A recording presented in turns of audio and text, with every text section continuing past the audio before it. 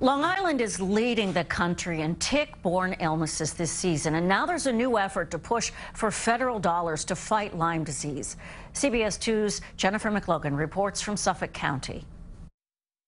More ticks have been reported in Suffolk County than any other county in America. I was hiking, I went through some brush, and I, I, actually saw a tick on my chest. I was wearing a light color, so I was able to see it. I brushed it right off. Olivia Marie of Oakdale, not so lucky. She doesn't know when and where the tick got her, but after eight weeks of suffering acute pain and fatigue, she was diagnosed with Lyme disease. At the height, I had meningitis, sepsis, and Bell's palsy.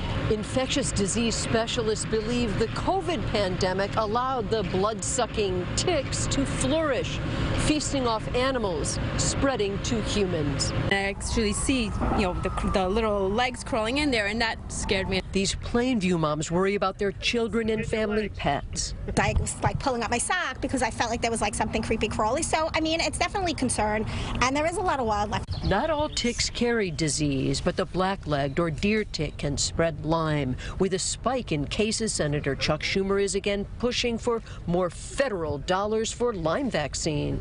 In mere months, there was the rapid development of the COVID-19 vaccine. Why is it taking decades to develop a Lyme vaccine. Lyme disease is much more inscrutable. It affects different parts of the body in different ways. More dollars could greatly hasten the discovery of a vaccine and, and its application. All we have learned from RNA vaccines from COVID, right, developing in one year, right, we can transfer that technology to a tick vaccine.